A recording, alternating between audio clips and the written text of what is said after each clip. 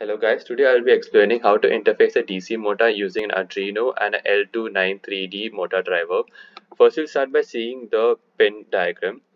In this you can see that the VCS is where the power supply will be given to the pin. Input 4 and input 3 will be used for direction control.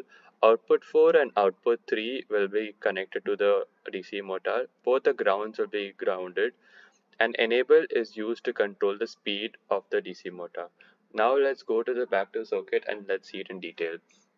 As you can see, the power is connected to the positive terminal in the breadboard, which is in turn connected to the 5 volts of the Arduino chip. And then we can see that the input 4 is connected to pin number 4. The output 4 is connected to the DC motor. Both the grounds are grounded on the negative terminal. Then the output 3 is again connected to the DC motor. Then we have input 3 connected to pin number 3 in the Arduino board and then the enable which is connected to pin number 2 and the enable it's important to keep in mind it's for speed control. As you can see we have an external power supply because the Arduino alone cannot handle the DC motor and that is also connected to the positive and negative and it, this is connected in turn with the power 2 to, for more power and both the negative terminals are joined together. Now we'll be seeing the execution.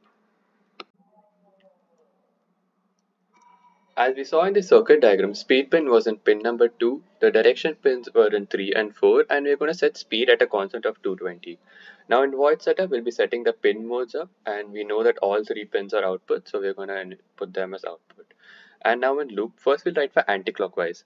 We're going to write direction 1 as high and direction 2 as low. When one direction is higher than the other, the fan will rotate in that direction.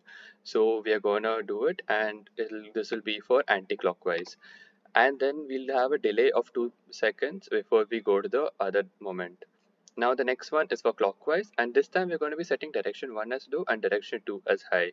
And then again there'll be delay. Because it's a loop this will keep happening and the spin speed is written and comma speed and the speed is uh, 220 it will go on this. If you can if you alter 220 to something else the pin speed will decrease or increase accordingly. So that's the code. This is the working of the code and now I'll show you how the motor runs after compiling the code now the code is being uploaded and after the code is uploaded you can see that the fan will rotate in anti-clockwise direction and then it will rotate in the clockwise direction. It will keep doing this. That's it. Thank you